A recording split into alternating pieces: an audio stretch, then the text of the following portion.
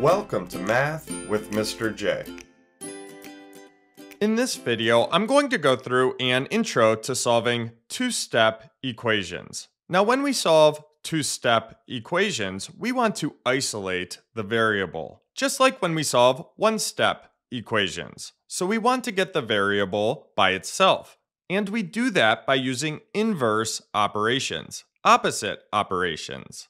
Basically, we want to use inverse operations to undo the operations on the side of the equation with the variable. And this will isolate the variable. And remember, whatever we do to one side of the equation, we must do to the other. We have to keep everything balanced and equivalent. Let's jump into our examples and see what this looks like. Starting with number one, where we have 3x plus 10 equals 28. So we need to solve this equation. We need to figure out what x equals. So 3 times what plus 10 equals 28.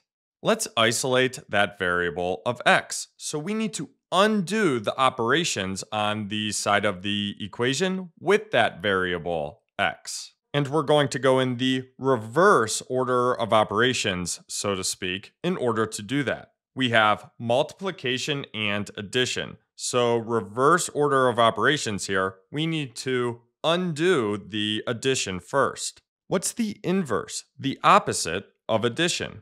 Well, subtraction. So let's subtract 10 from the left side of the equation.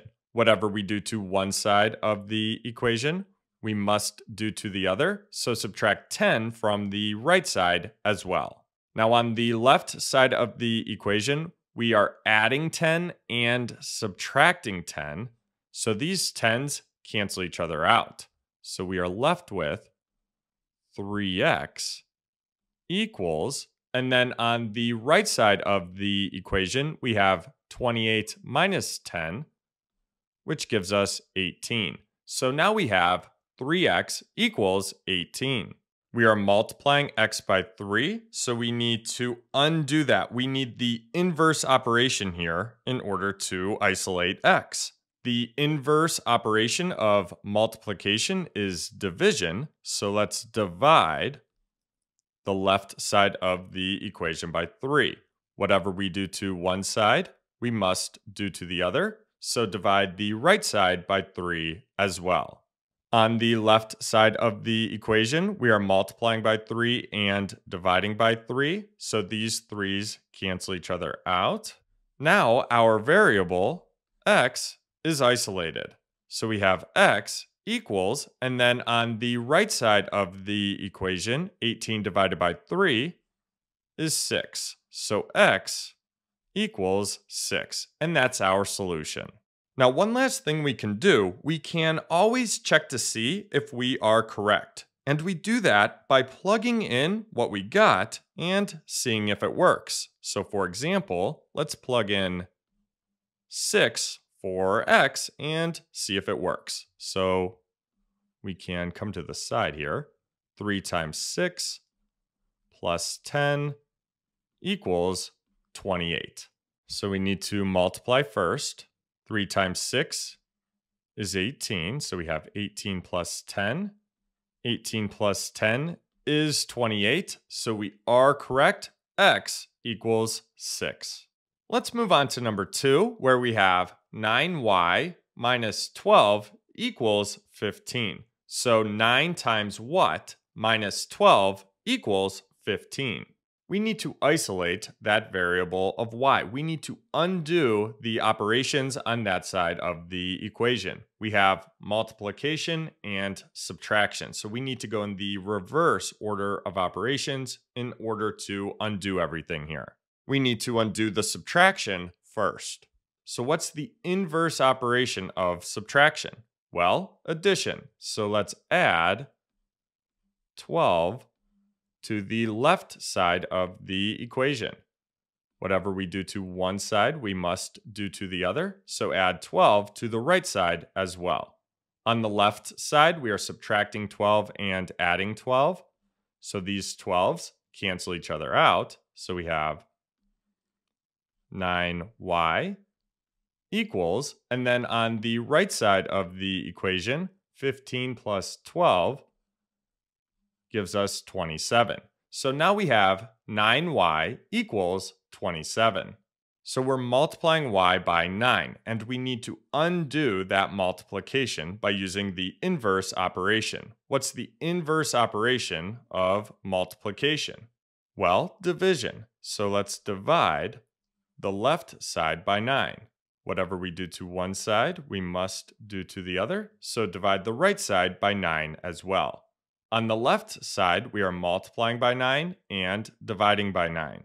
So these 9s cancel each other out, and our variable, y, is now isolated. So we have y equals, and then on the right side of the equation, we have 27 divided by 9, which gives us 3. So y equals 3. And that's our solution. Now let's plug it in and see if we are correct. So plug in 3 for y. So 9 times 3 minus 12 equals 15. So we start with multiplication. 9 times 3 is 27. 27 minus 12 is 15. So we are correct. y equals 3. Let's move on to numbers 3 and 4. So here are numbers 3 and 4. Let's jump into number 3 where we have d divided by 8 plus 32 equals 41. So we need to isolate that variable of d using inverse operations, and we need to go in the reverse order of operations we need to undo the addition first. So what's the inverse operation of addition? Well, subtraction. So let's subtract 32 from the left side of the equation. Whatever we do to one side, we must do to the other. So subtract 32 from the right side as well. Now on the left side of the equation, we are adding 32 and subtracting 32. So these 32s cancel each other out. So we have d divided by 8 equals, and then on the right side of the equation, we have 41 minus 32. That gives us 9. So we have d divided by 8 equals 9. So let's continue to look to isolate that variable of d. So d is being divided by 8. What's the inverse operation, the opposite of division? Well, multiplication. So let's multiply the left side by 8. Whatever we do to one side, we must do to the other. So multiply the right side by 8 as well. Now on the left side, we are dividing by 8 and multiplying by 8. These 8s cancel each other out. So D is now isolated. D equals, and then on the right side, 9 times 8 gives us 72. So D equals 72. That's our solution. And let's check that by plugging 72 in for D. So we have 72 divided by 8 plus 32 equals 41. 72 divided by 8 is 9. So we have 9 plus 32, and that gives us 41. So we are correct. D equals 72. Lastly, let's move on to number 4, where we have 2 equals h divided by 5 minus 9. Now for number four, the variable is on the right side of the equation. So a little bit of a different look here, but we use the same exact process. So this doesn't change anything. So we need to isolate that variable of h. So h is being divided by 5, and then we are subtracting 9. So let's undo that subtraction first. What's the inverse operation of subtraction? Well, addition. So let's add 9 to the right side of the equation. That means we need to add 9 to the left side as well. Now on the right side of the equation, we are subtracting 9 and adding 9. So those 9s cancel each other out. So we have h divided by 5 equals, and then on the left side, 2 plus 9 gives us 11. So h divided by 5 equals 11. So we are dividing h by 5. What's the inverse operation of division? Well, multiplication. So let's multiply the right side by 5.